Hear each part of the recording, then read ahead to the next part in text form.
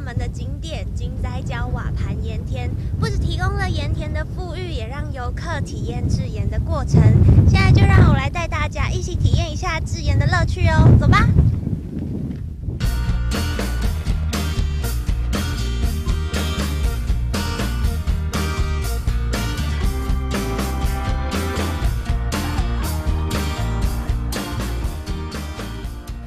金仔角瓦盘盐田是近来台南市北门区热门的景点之一，历史相当悠久。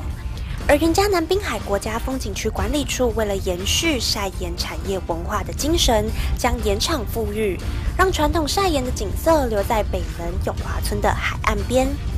啊，咱这盐就是海水入来经过就讲拔出来盐嘛，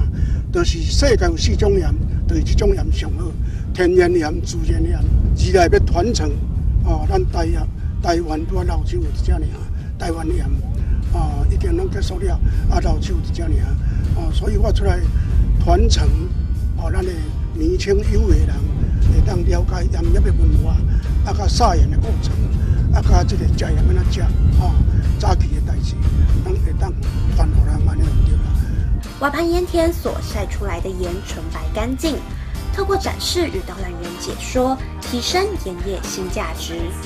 白色的三角岩堆映着夕阳的金色目光，更是井仔角另一个迷人的风貌。成大学生主播王玉柔在北门的采访报道。